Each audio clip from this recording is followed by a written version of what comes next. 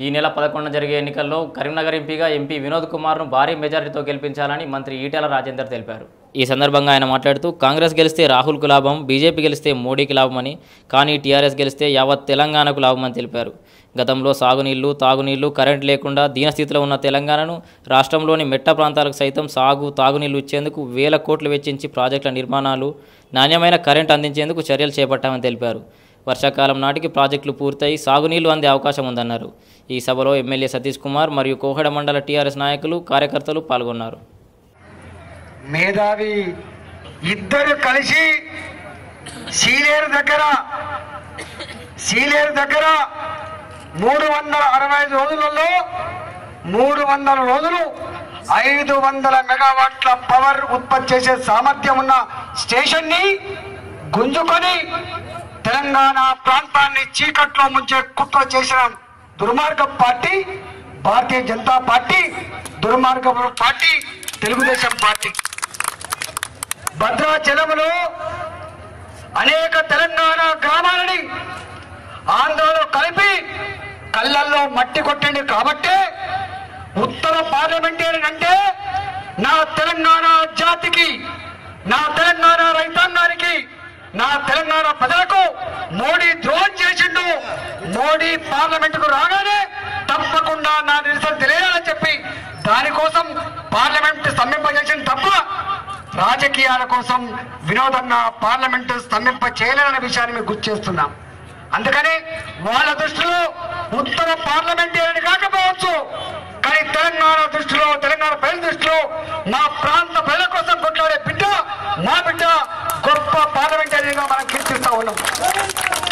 ఇవాళ అందుకని రెండవది నేను గ్రామానికి కోయడ గ్రామానికి రెండు వేల రెండు రెండు వేల రెండు మూడులో వచ్చిన రెండు వేల రెండు అనుకుంటా. మొండి గోడల మధ్యన మూడే? మొండి గోడల మధ్యన నేను టీచర్ని. ఆనాడు మాతో వచ్చిన ఉండొచ్చు. ఆనాడు పిడికడి మందిమే కొద్ది మందిమే ఆనాడు కరెంటు గురించి మాట్లాడుతున్నప్పుడు కన్నీళ్ళు పెట్టిన రైతులు వ్యవసాయం గురించి మాట్లాడుతున్నప్పుడు కన్నీళ్ళు పెట్టిన రైతులు. మేమన్నాం ఆ రోజు తెలంగాణ ఉద్యమం పుట్టిందే నీళ్ళ కోసం పుట్టింది. తెలంగాణ ఉద్యమం పుట్టిందే కరెంటు కోసం పుట్టింది. తెలంగాణ ఉద్యమం పుట్టిందే పేదరికాన్ని పోగొట్టడానికని చెప్పి ఆనాడు కొత్తగా అయినా మేము ఉపన్యాసం చెప్పిపోయినాం. ఇవాళ అర్థమైంది మనకు? ఇవాళ తెలిసింది మనకు? ఆనాడు కాంగ్రెస్ పార్టీ తెలుగుదేశం పార్టీ నిరుద్యోగ రాజకీయ నిరుద్యోగులు పెట్టే పార్టీగా అభివర్ణించిండ్రు మీరు వస్తే ఏం చేస్తారన్నారు? తెలంగాణ ఉద్యమం పువ్వలో పుట్టి మగలో మాయమైందని చెప్పిండ్రు.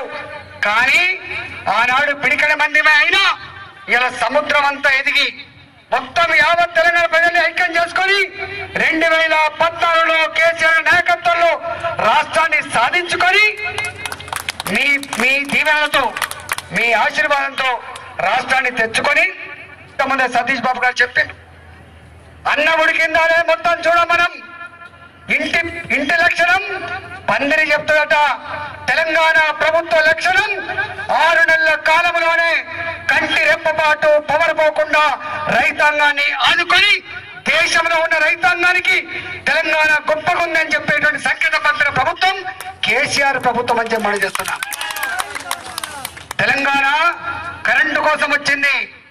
తెలంగాణ రేపు గౌరవెల్లి ప్రాజెక్టు కట్టుకొని వచ్చే వర్షాకాలం తర్వాత మిడుమానేరు నింపుకొని ఇవాళ గౌరవెల్లి ప్రాజెక్టు ద్వారా మీ ప్రాంత పంట పొలాలకు నీళ్ళిచ్చి మీ పాదాలు కడిగే ప్రయత్నం చేయబోతున్నది తెలంగాణ ప్రభుత్వం అని చెప్పి మనం